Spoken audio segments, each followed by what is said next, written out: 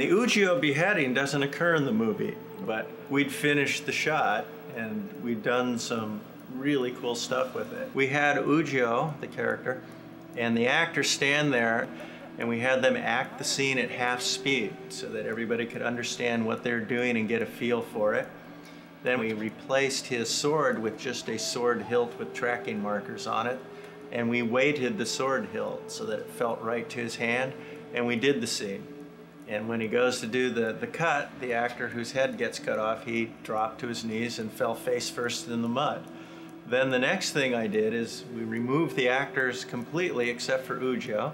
We got the actor's head, a prosthetic version of his head, and put it on a wooden dowel.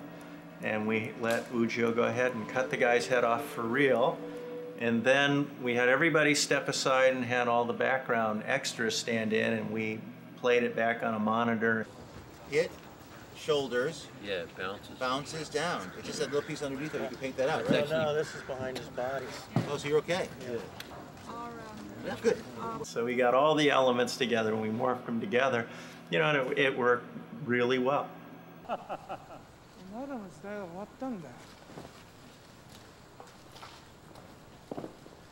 the next thing we did is the beheadings that occur in our battle. And we did the same thing with Tom Cruise, and he was brilliant too.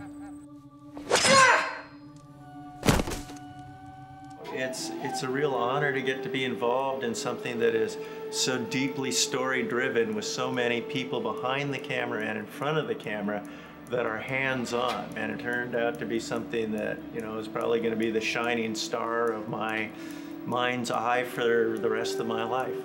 It's, an amazing experience to have been involved.